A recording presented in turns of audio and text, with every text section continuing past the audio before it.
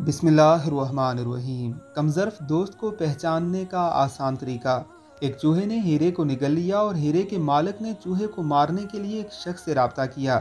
जब शिकारी चूहे को मारने के लिए पहुँचा तो वहाँ एक हज़ार से जायद चूहे इकट्ठे थे, मगर एक चूहा सबसे अलग बैठा हुआ था। शिकारी ने सबसे अलग बैठे चूहे को देखा और उसे मार डाला। मालकान हैरान थे कि ये वही चूहा था जिसने हीरा निगल लिया था। हैरान हीरे के मालिक ने पूछा, आपको कैसे पता चला कि ये वही चूहा है? शिकारी ने जवाब दिया, बहुत आसान।